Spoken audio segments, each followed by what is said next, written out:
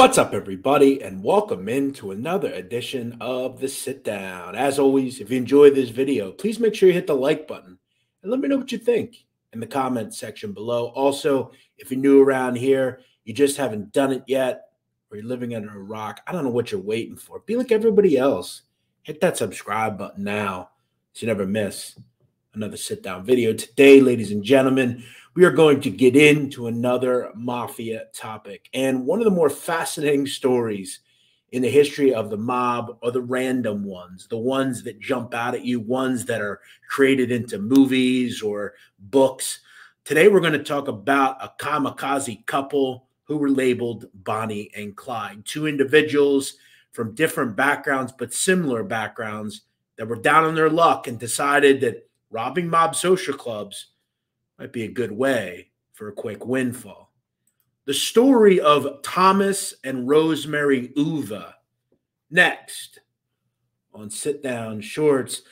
Uh, the Uvas were married in 1987. Rosemary was born in 1961, and she would come up in the Italian enclave of Ozone Park, Queens. It was said that she was from a very Italian family.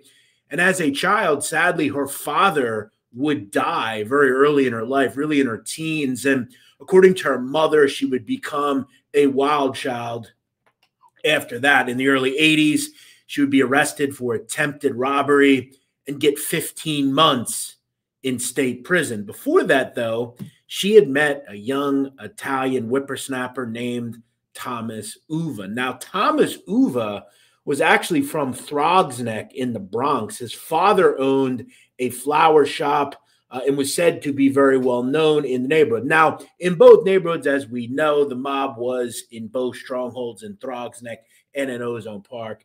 Uh, but Thomas Uva's father was a straight laced businessman who owned this floral shop. Sadly, though, Thomas Uva, like his uh, soon to be wife, would face strife as well. His father would die as well. So they had that in common, very sad. Thomas Uva's father would actually, while cleaning a gun, shoot himself in the leg uh, and hit an artery and die. It was a very sad uh, accident. And sadly enough, uh, Uva kind of went off the deep end as well. It would be further uh, sad for Uva because the flower shop that his father owned was actually given to his brother. Uva descended into a sad and dark depression where it was said that he began experimenting with narcotics. Now, um, he would also go to prison for robbery as well. They would both hit prison and really kind of say their goodbyes.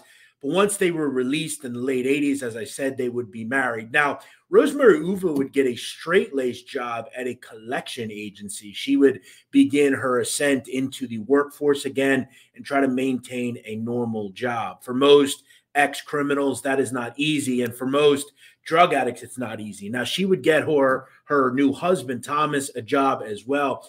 And there was an interesting thing that developed between both Rosemary and Thomas Uva. According to an individual named Michael Schusel, who was the boss of the two at the collection agency, he would discuss that Tom Uva was in, in very interested in the mafia. And in fact, he would ask for days off and according to Uva, he was going to go to the trial of the Dapper Don John Gotti. He was very into the mob. They had an interest in the mob. And remember, both of them had grown up in mob areas, especially Rosemary, who uh, was from Ozone Park. We know how much of a stronghold that area is. So they had that interesting proclivity. And this is where they decide that, you know what? The straight life ain't for us. We can't get by doing what we're doing. This just ain't us. We're criminals at the end of the day. So Thomas Uva hatches a wild yet somewhat smart plan.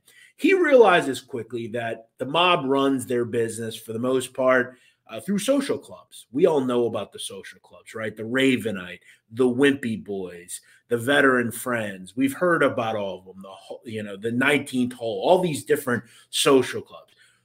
Uva realizes a couple of three things he realizes one that uh, mob social clubs don't have guns in them. There's a strict rule in social clubs: no guns.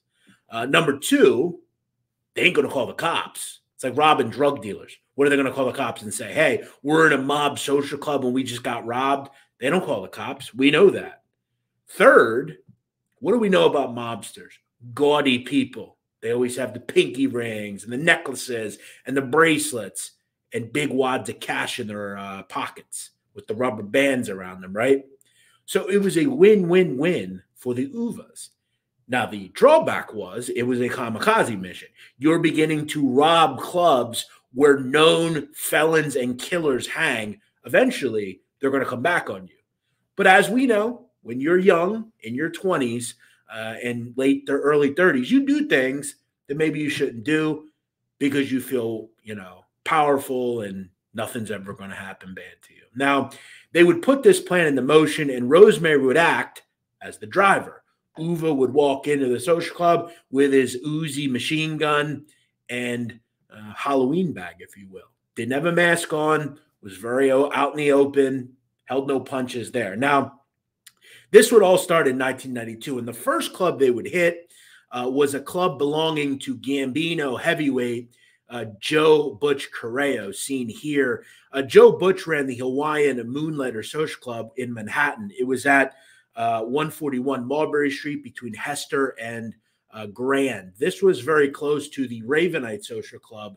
And as we know, the Ravenite would go away in the early 90s uh, and it would be seized by the government. The Mulberry uh, Club of the Hawaiian Moonlighters would act as kind of a new haunt uh, for Gambino family people. And keep in mind, they had been going there because it had been run by Joe Butch as well. They would hit that club and make off with an unknown amount of cash. Also hit uh, was a club belonging to Gambino powerhouse Jimmy Brown Failla, the Veteran Friends Social Club. As we know, that was the same haunt that outside in 1986, Frankie DeCicco would be killed in a car bombing. Now, also hit were other families clubs, including a club run by Anthony Old Man Spero called the West End uh, Social Club. That was in uh, Bath Beach. We obviously know about uh, Anthony Spero. Also hit was a club belonging to Georgie DeCicco. That was also in the Bensonhurst Bath Beach Avenue area. So they're starting to hit a lot of clubs, and they're not just hitting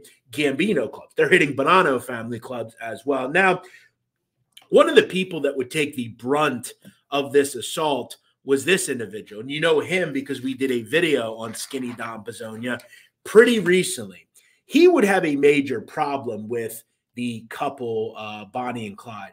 He would be not hit once, but twice. And his club uh, was a place called the Cafe Liberty Social Club. Now, the Cafe Liberty for a long time was run by Gambino heavyweight Anthony Fat Andy Ruggiano. Now, once Ruggiano goes away, Pizzonia takes it over and becomes a higher up. Now, the Cafe Liberty was one that, according to people, Uva and his wife enjoyed hitting. They ended up hitting it twice, as I said. Now, in one instance, it was rumored that once Uva made it into the club, he started getting very brazen with his behavior. He started at one point uh, messing with the hair of an elder individual inside the club, which is a no no in mob circles. It's a no no to touch a mobster in general, but it is an incredible no no to touch the hair of an individual. Also, in one of the clubs, it was rumored that one of the mobsters would actually tell Thomas Uva, You know, we're going to get you sometime, right?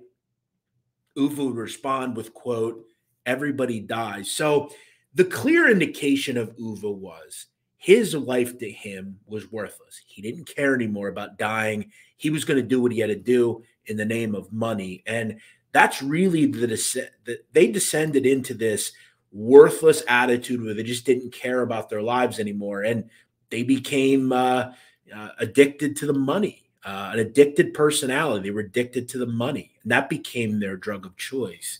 Um, now, ultimately, this would all shake out because in one of the late stages of the robbery uh, cycle, mobsters would actually go after the car uh, that they were in and they would catch the license plate. And again, they would use through connections that they had to figure out that Rosemary and Thomas Uva were the main culprits. Now, keep in mind, they lived in the neighborhoods they were robbing people in. They were living very much out in the open, and that was not a particularly good idea.